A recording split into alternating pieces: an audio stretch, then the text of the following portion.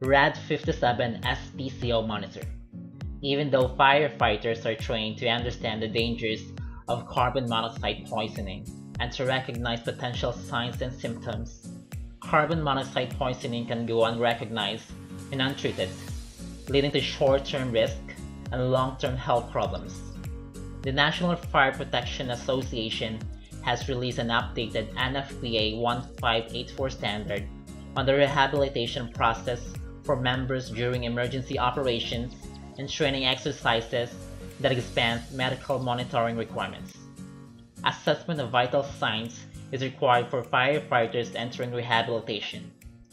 This new equipment includes temperature, heart rate, respiratory rate, blood pressure, and pulse oximetry.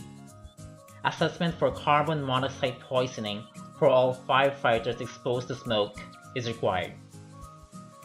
Package includes RAD-57 kit with SPCO option, adult rainbow sensor, RC01 cable, RAD carrying case. Let us help you today.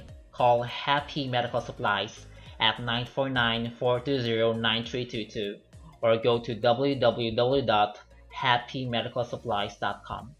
You can also see the complete information on the description box.